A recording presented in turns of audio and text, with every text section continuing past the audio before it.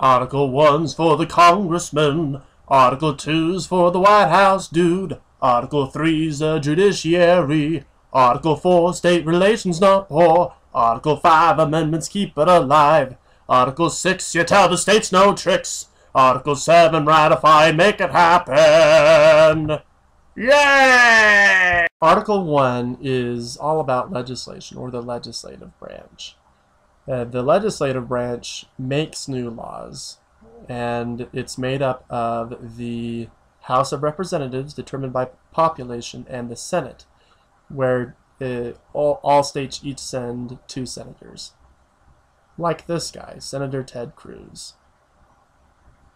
And then, in Article 2, you have uh, the White House, or the executive branch. The executive branch is responsible for executing or enforcing or carrying out uh, the law.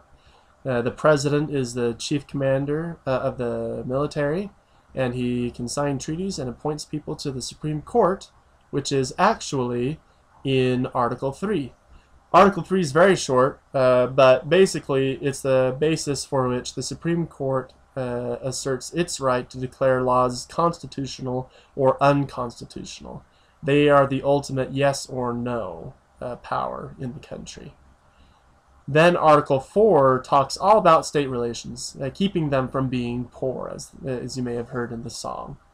So uh, to do this, it just sets out the rules by which the states can interact with each other, make sure that they uh, can't trounce on each other's rights, etc., and etc.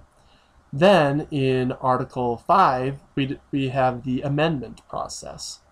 Uh, this amendment process is what has kept the Constitution alive for so long. We when we have new big problems, uh, we can uh, add an amendment to the Constitution so that uh, we can uh, keep uh, this law system going.